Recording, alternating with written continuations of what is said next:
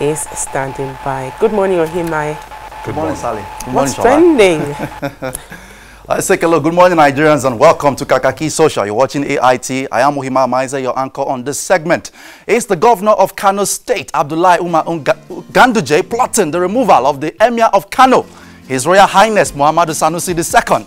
Well, if an exclusive report by the cable is anything to go by, it appears that winter is coming and the battle for the Iron Throne of the Kano Emirate has just begun. But the big question remains, will the House of Sanusi survive? Well, this issue was in the social media yesterday. Uh, the governor of Kano State allegedly plotting the removal of the emir of Kano, uh, Muhammadu Sanusi II. We'll take a look at that report this morning and how Nigerians are reacting uh, to the, this issue of uh, Sanusi versus Ganduje. The battle line seems drawn in Kano State. Uh, let's take a look at that exclusive report by the cable, uh, which told us what exactly is happening. Exclusive. Ganduje moves to remove Sanusi as emir of Kano. Let's take a look at details of that report very quickly. Uh, in the next slide. Ganduje plotting the removal of Sanusi, the emir of Kano. Abdullahi Umar Ganduje, governor of Kano State, has relaunched moves to remove Muhammadu Sanusi II as the emir of Kano, the cable can report. On Monday, the Kano State Public Complaints and Anti-Corruption Commission reopened investigation into the expenditure of the State Emirate Council under Sanusi II. Also, at Monday's plenary of the House of Assembly, Kabiru Al-Hassan Rurum the speaker read a letter from one Ibrahim Salisu and others seeking the creation of new Kano Emirates in Karaye, Bichi, Rano, and Gaya. Quote, the governor is determined to remove the emir, and if this does not succeed, he will break the emirate into pieces to whittle down Sanusi's power. An official of the state government who asked not to be named told the cable on Monday evening. A serious power play going on, going, going on right now in Kano State between the Emir of Kano and the Governor of Kano State, as this report has said. Let's go to the social media now and take a look at the reactions. Aisha Moody tweeting said, the Kano Emirate is bigger than Ganduje and his political ambition and even bigger than Emir Sanusi as an individual. Dividing the Kano Emirate is less a revenge on Emir Sanusi than it is a collective insult on Kano's history, tradition, and heritage. Ahmad Musa Hussein, quoting Ahmad Musa Hussein there in that tweet. And then from Simply Soul J, Governor of Kano State, Abdullahi Ganduje, moves to remove Sanusi as Emir of Kano. This action of governor's intimidation on traditional rulers is becoming unbearable. Must the traditional rulers always dance to their tunes, even when they are failing? Simply Soldier tweeting yesterday. Uh, let's take a look at more reactions. Onye Jekwe, a maker, tweeting said, if this news is true, then Ganduje had better be ready for a big crisis and confusion in Kano State. I see it as the biggest joke of the year because he can't try it. He cannot dethrone Emir Sanusi and go free. Let him try it. In this case, power pass power. It's a delicate thing. Onyejekwe, a maker tweeting uh, yesterday from JK Fage, Kano, oh, how the mighty have fallen. Traditional rulers in Nigeria, the North in particular, may be more significant than political elites. Ganduje's attempt to dethrone HRH Muhammadu Sani, Sanusi II will set back the North, not just Kano, and cause chaos. JK Faje tweeting yesterday. Uh, we'll take a look at more tweets. Bello Nuhu in a tweet said, what the Ganduje government is doing at this moment to Muhammadu Sanusi II is absolute stupidity and childishness. Taking Emir Sanusi down is unhealthy to Kano State and northern Nigeria.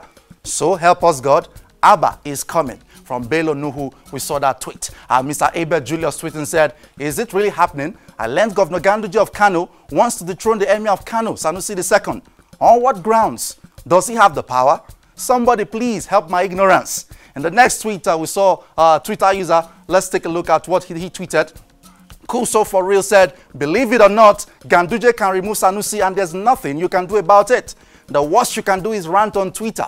But for winning the election for his second term, Ganduje should just move on and forget Sanusi, even though it was obvious Sanusi wanted him to lose. Kuso for real tweeting yesterday. A lot of conversations in the social media about this uh, uh, power play going on in Kano State. Certified Hope tweeting said, traditional rulers have sold their rights to politicians already. It is time for them to suffer the consequences one after another. Certified Hope tweeting yesterday, Meloya in a tweet said, Is it now wrong to criticize the government? Criticisms put the government on its toes, but this is not so in the case of APC. Meiloya tweeted, Benny Meiloya uh, posted that tweet. Suleimana Akinyomo Akin said an emir should not have involved himself in partisan politics. He should have made sure he was seen as neutral. Criticize? Yes. Support a candidate or party? No. Suleimana uh, tweeting yesterday uh, on this issue. We move on very quickly to the case of Senator Ademola Adeleke, the PDP gubernatorial candidate in Osun State, who was arraigned before a magistrate court in Abuja yesterday for alleged certificate forgery. Uh, interestingly, as we have learned also in the social, social media, based on the concerns in the social media, he had actually been also arraigned for this same offense by another court. So is this a case of uh, double trouble for Senator Ademola Adeleke? Uh, the PDP in a tweet yesterday Let's take a look at what the PDP Twitter Gave us some details about that case. Senator Adeleke, the PDP governor-elect of Osun State, who was earlier arraigned before a Pape magistrate court, has been granted bail. Two, Senator Adeleke was granted bail in the sum of 2 million naira and a surety in like sum. Three, the matter has been adjourned to 24th of June 2019. Rescue Nigeria. They embedded this video to that tweet. Let's take a look at this video very quickly this morning on five count charge relating to certain already existing uh, alleged offences in terms of testimonial issue in his former school where he graduated. And aside from that they equally arranging that the result or even the testimonials he presented as a serving senator when he was contesting were fake ones. Initially we made a formal application. I did not appear as a counsel because i have no right of audience in this court but I was around for the purpose of guiding the junior lawyers who are members of the team representing the interests of the defendant in respect of this matter. Objection was raised, especially concerning his appearance before the court, but the court overruled that he has the right to be arraigned before the court this morning. He was formally arraigned, his plea was taken, and he pleaded not guilty to all the counts as read against him. A formal application was therefore made orally for the purpose of admitting him to bail pending another deal of adjournment. He was granted bail in the sum of two million naira with one surety in the like sum, and the surety will be a resident in the jurisdiction of this honourable court. And the case was further adjourned to 24th of June for the purpose of the uh, prosecution presenting their witnesses for the trial of this matter. Your name, sir? My name is N-O-O, okay? The initials? Nathaniel, okay? Thank you. Okay, we go now to the social media reactions. Henry Shields tweeting said the arraignment of Senator Adeleke in court today was a test run and the PDP missed a golden opportunity to show the presidency that it will not tolerate another season of political harassment. Henry Shields tweeting yesterday, Ariyo Aristotle in a tweet firing at the police force said, Attention Nigerian police, it ridicules our nation and worsens your image as a lawless institution to illegally subject Senator Adeleke to double jeopardy and harassment over a matter already decided by superior courts. Using your coercive powers to serve political interests is unjust. Ariyo Aristotle tweeting, Andy Madaki in a tweet said, Kemi Adeosun forged NYSC certificate and was Minister of Finance for three years plus. She resigned and went free, but Adeleke is being arrested and charged for a case already in another court. Our Vice President is a senior advocate of Nigeria and a law professor. Andy Madaki tweeted.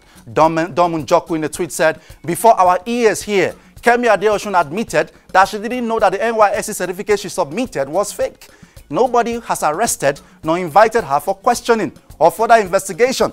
Senator Adeleke's only sin is that he contested and won Tinubu's Osun State governorship. Dom Njoku tweeting yesterday, Ademola Agbarago in a tweet contrary said, I don't know why people are supporting the so-called Senator Adeleke. The man forged two certificates, etc. He should be prosecuted and if found guilty, face the consequences. Kemi Adeosun was fired as finance minister for forging NYSC certificate. We need to move Nigeria forward. Ademola Barago tweeting yesterday on that issue. And there's this report that has been trending in the Nigerian social media. Our helicopters now escorting the trains from Abuja to Kaduna.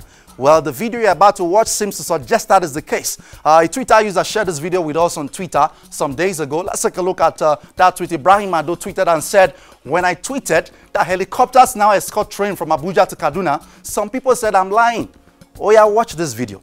I weep for Nigeria. Let's take a look at this video and how Nigerians are reacting to this.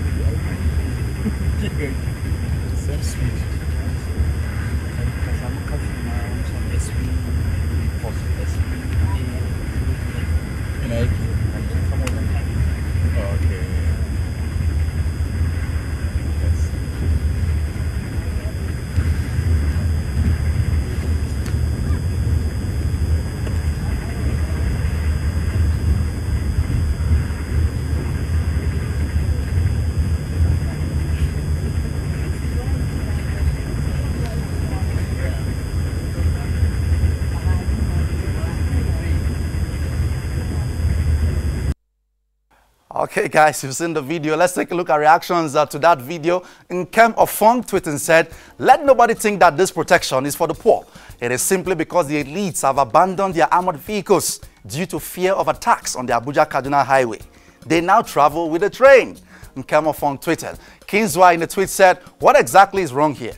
What is wrong with being proactive and protecting the trains while the bandits are being engaged? Or should the government wait until a train is attacked so you can wail again about no security? Kinswa in a tweet there. Tinsu Deep with a tweet said, Nigerian government and wasteful spending. How do you explain the cost of piloting a train with a chopper? Each time the train moves, an helicopter follows. How about trackers and robust emergency security plan? Tinsu Deep tweeting, seems we have more security experts outside the police and the army than we do inside. AK33M underscore tweeting said, now I can confirm for certainty, Nigeria is cursed. Do you know how much that escort is costing the police? Why not get drones to patrol the train tracks and the Kaduna-Abuja expressway? Then get armed drones and set up two to three forward bases for quick mobilization and intervention. Shaking my head. Akim AK33 underscore M tweeting there. Obazo 1, Isa, Isa Adeza John tweeting said, The escort is real. I live very close to Kubwa train station. The kidnappers or whatsoever that evil is called threaten to attack the train soon. The threat is real. May God save us from this evil. Obazo 1 tweeting yesterday. We go now to Instagram where Nigerian celebrities are fighting themselves over this uh, debate about the right and wrong of uh, cyber crimes, popularly known here in Nigeria as Yahoo Yahoo. The artist Naira Marley, some weeks ago, we brought you his report, uh, had said that Nigerians should actually pray for Yahoo boys because they are contributing a lot to the economy. And the rugged man didn't take that lightly. He's uh, criticized that move, that uh, uh, expression from Naira Marley, and said, no, that's illegal, that is wrong, it's immoral we, are, we should have no business with cyber crimes. It's giving us a very bad image globally across the world. An artist who has a lot of followers should not be seen to be promoting this sort of uh, behavior, this sort of crime. And then Naira Marley fired back. So this uh, video you're about to watch, Naira Marley reacts to Rugged Man, calling him a fraudster, upcoming artist. So Rugged Man actually berated him as an upcoming artist who should be busy doing records and not promoting Yahoo Yahoo. So let's take a look at what Rugged Man said and how Naira Marley responded and how Nigerians are reacting to this. Let's take a look. It depends on the response. Response from who?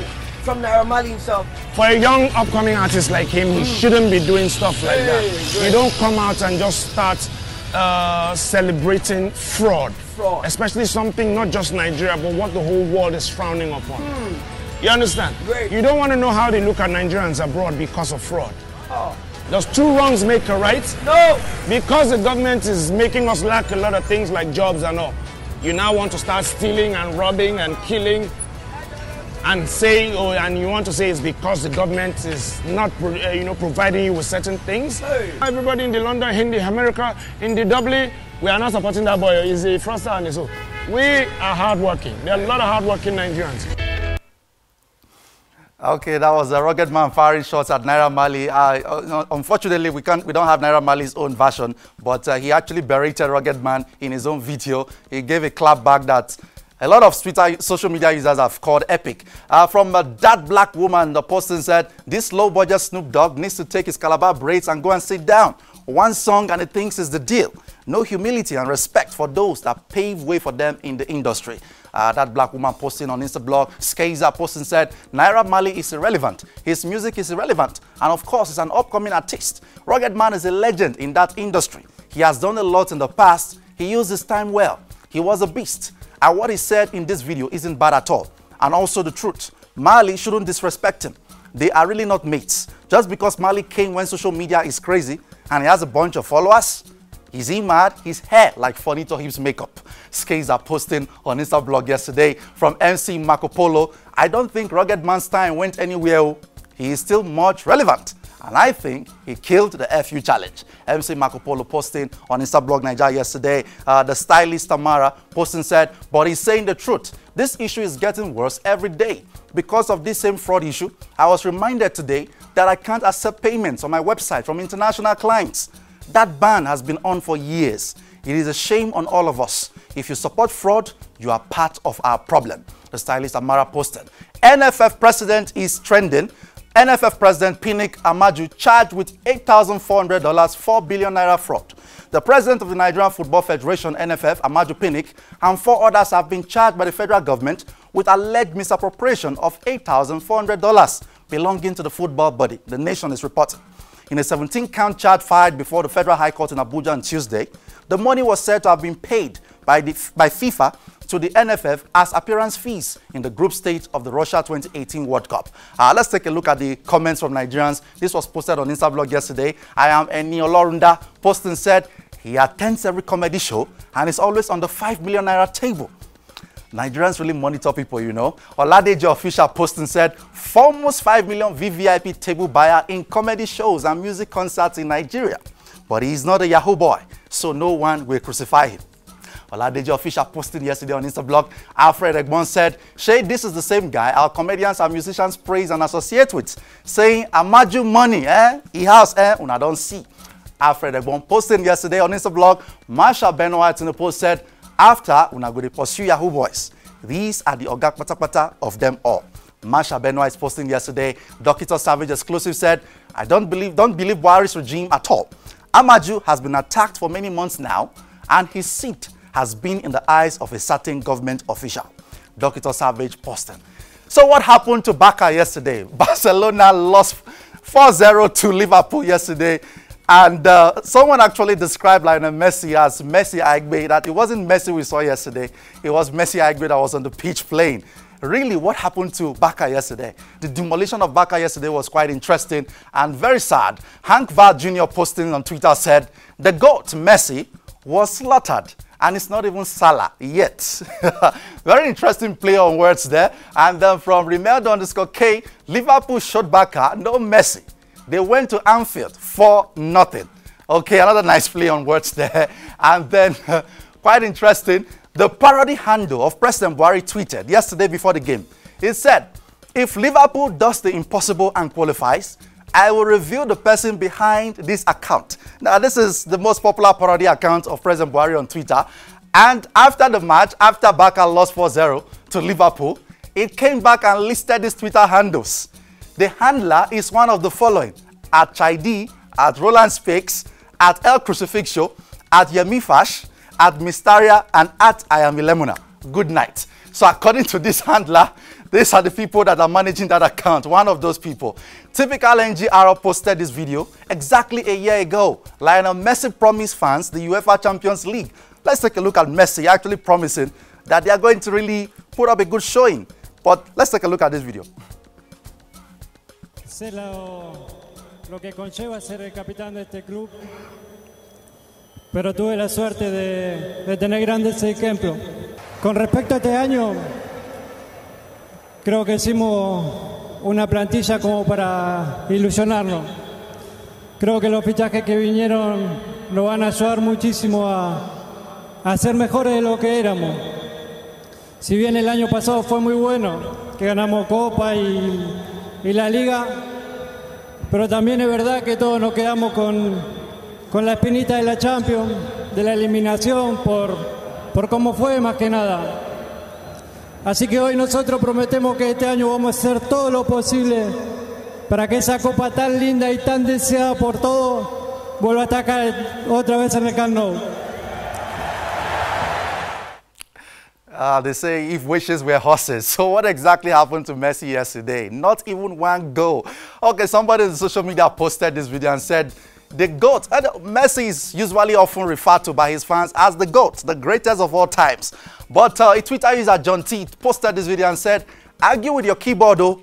This goat is better than Messi tonight at Anfield. Liverpool backer, LFC backer. Retweet and like if you love Liverpool. Let's take a look at this video as we close the show this morning.